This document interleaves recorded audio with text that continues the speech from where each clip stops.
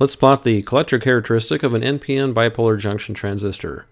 This will be a plot of the collector current as a function of collector emitter voltage for various levels of base current. I'm going to begin by enabling the virtual components toolbar. And then next, let's find a typical transistor. This is the 2N2222.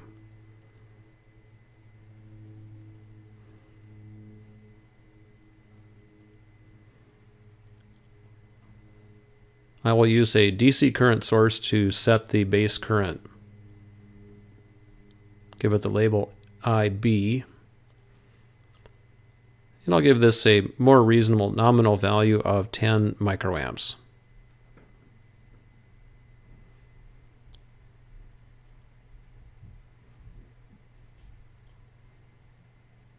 We'll need the emitter to be grounded, and then I'm going to place a DC voltage source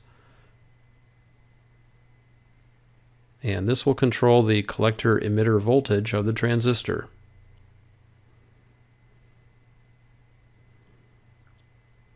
I'll give this also a smaller nominal value of 1 volt.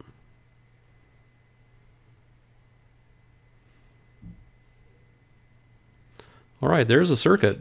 I'll be wanting to plot the collector current as a function of collector emitter voltage, and then we'll step through various levels of base current.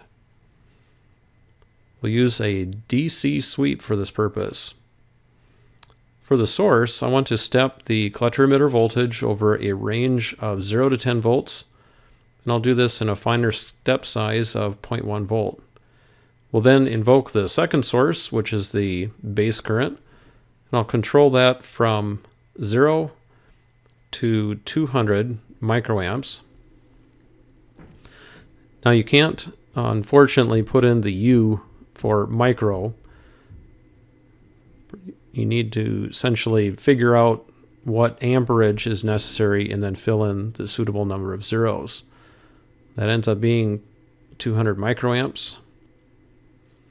And for my step, I want to use 20 microamps. So I need one more zero. For my output variable, I want to plot the collector current of the transistor.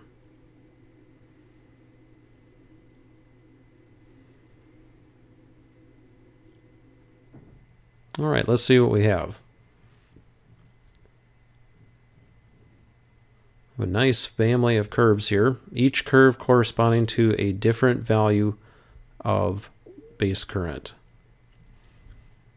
Might want to just make sure that you know where the data points actually exist. That would be each of the dots here.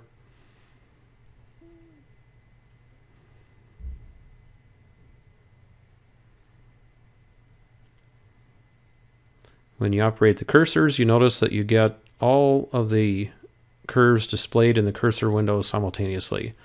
One of those is the active trace, but all the rest of them are visible.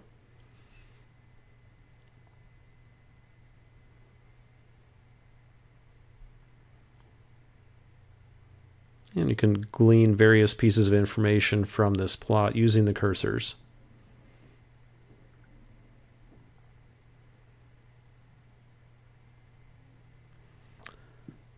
Now you'll notice in this area that it seems like the data perhaps is a little bit coarse. Looks like the 0.1 volt step wasn't giving very smooth response in that area. What I'll do now is run only between 0 and 1 half volt, but do it in much smaller steps. So we see a nice smooth family of curves in that limited voltage region.